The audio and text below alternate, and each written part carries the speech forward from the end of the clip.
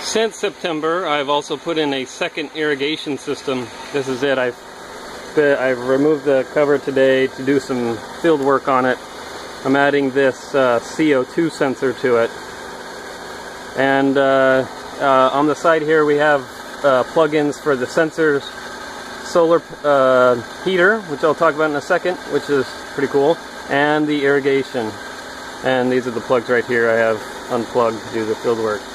The solar heater is basically this. A very small water pump takes water from my reservoir that uh, circulates through the earth and it circulates it up into this section of the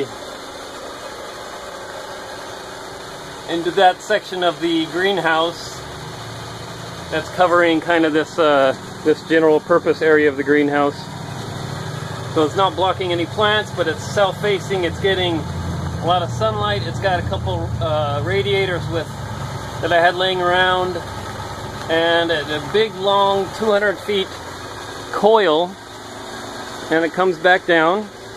And I've got it programmed to turn on when uh, the air temperature is is greater than the reservoir temperature. I've got a temperature uh, sensor inside the, the reservoir so I know exactly how warm it is. And this, this solar heater is probably one of the best things that I've done. Probably one of the best modifications that I've done so far.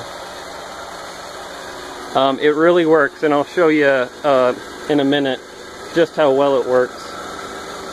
Um, so yeah, that's the that's the new addition with uh, second irrigation controller, solar heater controller. Just uh, pretty, pretty awesome.